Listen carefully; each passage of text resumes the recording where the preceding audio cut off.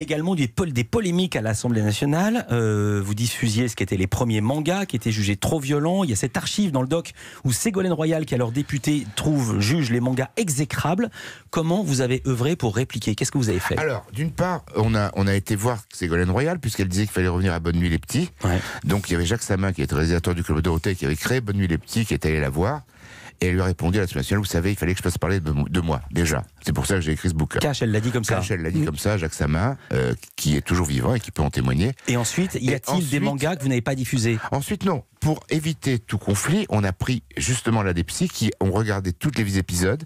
Et s'il y avait des coupes à faire, on les faisait, il y en avait très peu.